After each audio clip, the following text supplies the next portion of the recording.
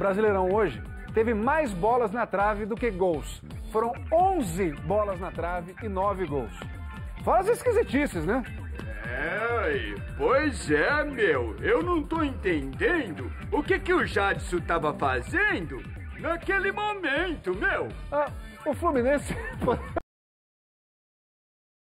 Ah, oh, nobre Tadeu, se você está se referindo àquele pequeno entreveiro com o Diego Souza, que coisa horrorosa! Que coisa horrorosa! Rio de Janeiro, Maracanã. O Fluminense recebeu o São Paulo. E esta poderia ter sido a cena do jogo. A gente não vê isso todo dia. Que isso, rapaz? Que isso, rapaz? O Jadson por um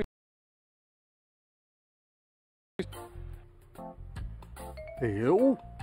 Tirou os pés do chão. Qual era o objetivo possível dessa jogada? Impossível dizer. O Jadson levou cartão amarelo. A cena do jogo também poderia ter sido esta. Que isso, rapaz? Que isso, rapaz?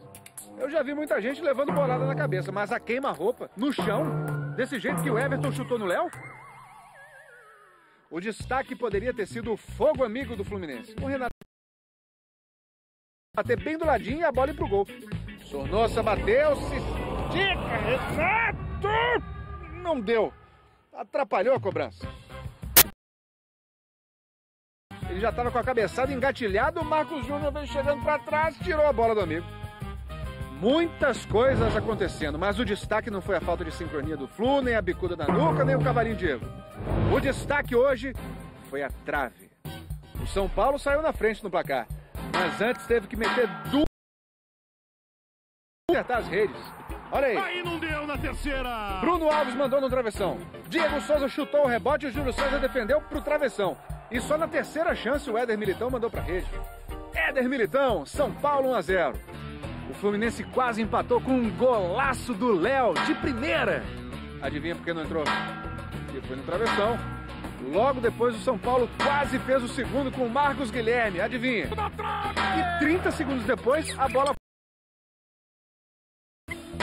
vocês contaram aí? Mais uma na trave! Cinco bolas na trave no mesmo jogo.